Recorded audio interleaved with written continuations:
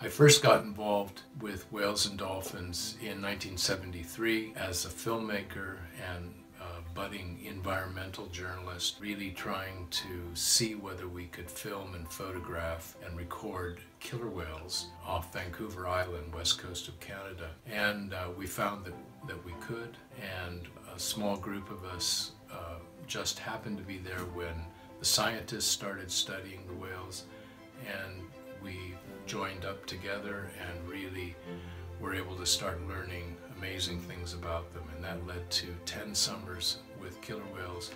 And from there, I, I started getting interested in all whales and dolphins and traveling around and doing research. And I wrote this Encyclopedia of Whales, Dolphins, and Porpoises because I really wanted to bring the reader out the wild with whales and me and to try to focus on some of the really exciting things. This has been the revolution in research the last 30 or 40 years. And I have so many stories, it's really hard to narrow them down. And I've tried to put quite a few of them into the book. One of our interesting stories is about Iceberg, the all-white male killer whale that we found first in 2010 off of uh, Russia with a, a, Russian research group that I work with. And we were able to um, photograph him and, and do a short video and it's really remarkable because you had all these black and white, the usual killer whales, traveling along.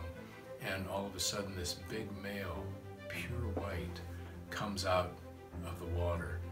And, you know, you just wonder how he managed to survive. I mean, uh, albinos in other species don't necessarily do very well.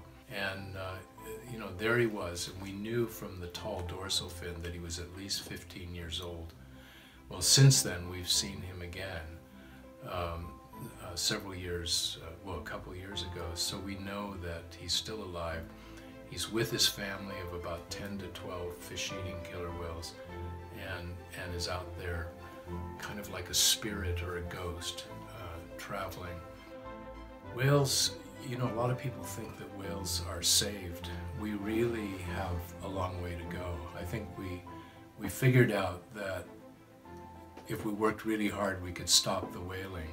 And I think, you know, commercial whaling is, is dead, but there are still some countries that are doing a bit of whaling um, uh, for what they call scientific purposes.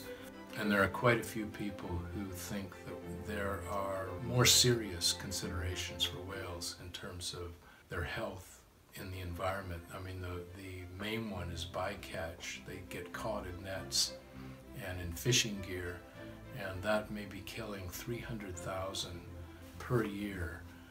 And there are also whales regularly getting hit by ships, uh, sometimes even cruise ships. And really what we need to do is we need to create homes for whales. We need habitats in the sea that are protected. And that's really going to be the key as to whether we have a future for whales and dolphins and porpoises in the ocean. I'm really against uh, whales and dolphins being put in aquariums. Everything that we're learning about them and how intelligent they are, how social they are, uh, everything tells us they do not belong in aquariums. And I think that, wider public is starting to realize that more and more as well.